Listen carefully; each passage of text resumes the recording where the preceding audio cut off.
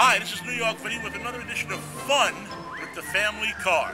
Now in this edition, we're going to make use of one of the more popular accessories in today's automobiles, the backup camera. I'm a big fan of this one because I like art and I like to look at pretty pictures and photographs. So I figured, here's what we do. We have you get in your car when things are kind of slow and take a couple of pictures through your backup camera. Here's some of the art that I came up with. First up, we have a couple of ladies that I ran into in front of a local coffee shop. I said, hey, let's have some fun with your dogs.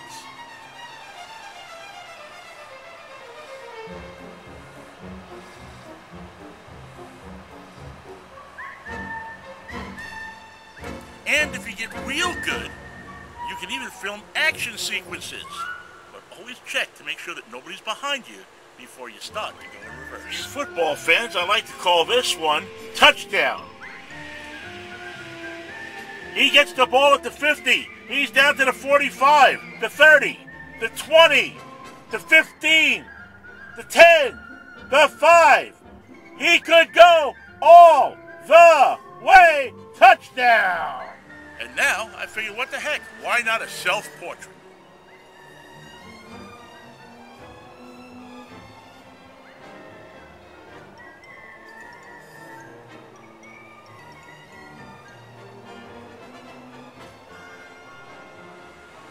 And of course, we have to have a beautiful woman in here as well. Well, that wraps it up for another edition of Fun with the Family Car. But remember, there's always something else you can do to keep yourself entertained with the dashboard of your car.